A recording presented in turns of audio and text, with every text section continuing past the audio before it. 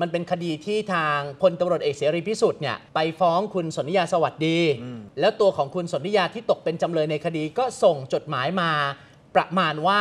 ต้องกราบขออภัยงามๆเลยนะครับ ค่ะ แล้วก็หลังจากนี้คือสัญญาเลยว่าจะไม่ล่วงละเมิดไม่จับจ้วงพลตำรวจเอกเสรีพิสุทธิ์แล้ว ทีนี้ท่านก็เลยมาตั้งมาทำโพลว่า ให้อภัยกดไลค์กดไลค์อ่าไม่ให้อภัยกดเลิฟกดเลิให้ฟหัวใจไปเลย จดหมายที่ตัวของคุณสนธิยาส่งเออมานะฮะ ทีมงานของเราก็นั่งนับมาให้นะ ค่ะจะมีคำว่ากราบในจดหมายเนี่ยประมาณสัก 15 ครั้งด้วยกัน15กราบกราบจะลุกไม่ขึ้นอะ มันก็แสดงถึงความจริงใจที่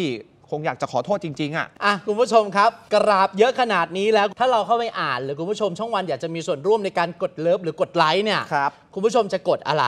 ล่าสุดเลยนะครับ มีคนมาโพสต์ต่อว่า อยากจะให้พลตำรวจเอกเสรีพิสุทธิ์ทำตามฉันทามติของชาวเน็ตที่มาช่วยกันกดเลิฟกดไลค์เออ